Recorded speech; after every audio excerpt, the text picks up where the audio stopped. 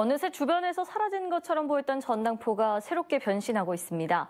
스마트폰과 노트북 같은 IT 기기까지 취급하면서 이용 연령층 또한 다양해지고 있습니다. 신민지 기자의 보도입니다.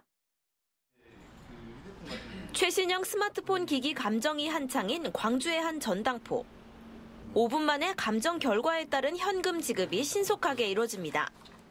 귀금속과 잡화 등을 주 품목으로 삼던 전통적인 전당포의 이미지가 급변하고 있습니다.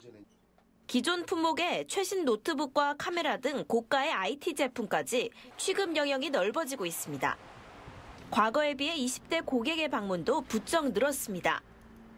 이제 은행 같은 경우 이제 가기 좀 불편하니까 걱정도 되고 뭐 나한테 해가 끼칠 수도 있, 지 않는가 그런 생각 들어서 전당포로 이제 많이 가는 것 같아요.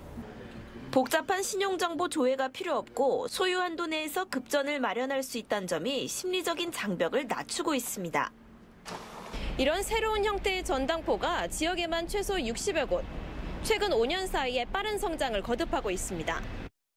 이용하기가 좀 편해서 그런 것 같아요.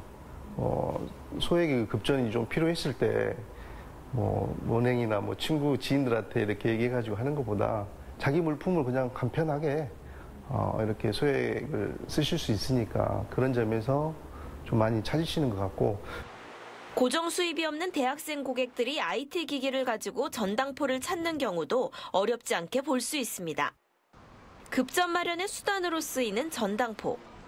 시대가 변하면서 주요 고객층과 취급 품목도 달라지고 있습니다. KBC 신민지입니다.